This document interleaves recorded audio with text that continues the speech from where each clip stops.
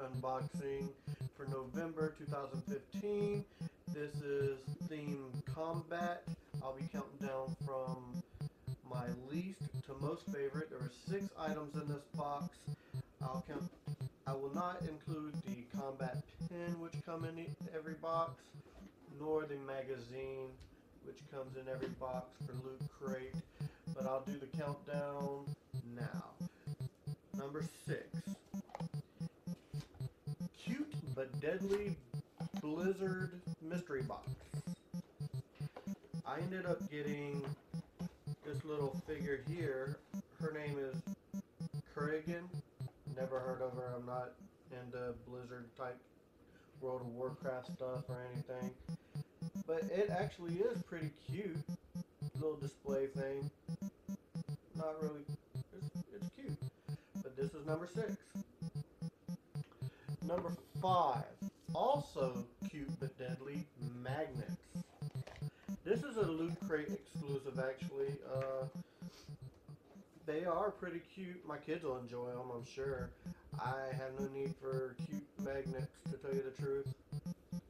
But, not a big deal.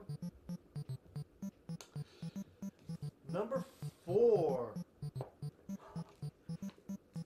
Mockingjay. It's a pin. It, uh, I think this was used in the movie type like a pin that they used on themselves. See if that comes in focus there or not. I don't know. But it's actually pretty cool. It's well made. Metal. Not bad, but I'm not into Hunger Games. Oh well. Number three. Fallout Boy bobblehead. Vault Boy. That's pretty cool actually. I like bobble. I like almost any bobblehead. I think they're pretty cool give you a good look at this one. It's actually pretty well made.